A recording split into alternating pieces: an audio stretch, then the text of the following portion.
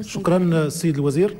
حقا في إطار التشاركية بغينا الممثلين ديال الشعب حتى هما يكونوا في هذه المفاوضات السيد الوزير. مادام أن المهنيين ديال الصيادلة وكذلك المصنعين هما اللي كتفاوضوا معاهم.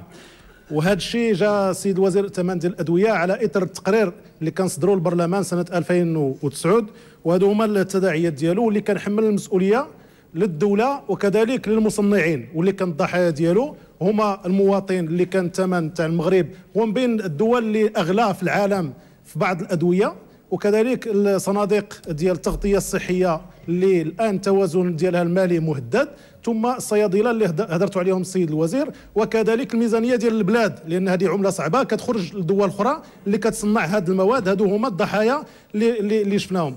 خفضتوا 320 دواء ولكن باش نعطيكم على سبيل المثال الكنوبس كيقول بأنه غادي يخسر في سنة 2013 80 مليون ديال الدرهم على عاد الشيء تاع التخفيضات ديال الأدوية. الآن نطالبكم سيد الوزير أنكم في هذه المفاوضات تحافظوا على اولا المواطن المغربي لأن المصنعين والصيادلة عندهم الهيئات والنقابات اللي كيدافعوا عليهم. المواطن المغربي حنا بغينا اللي يدافع عليه.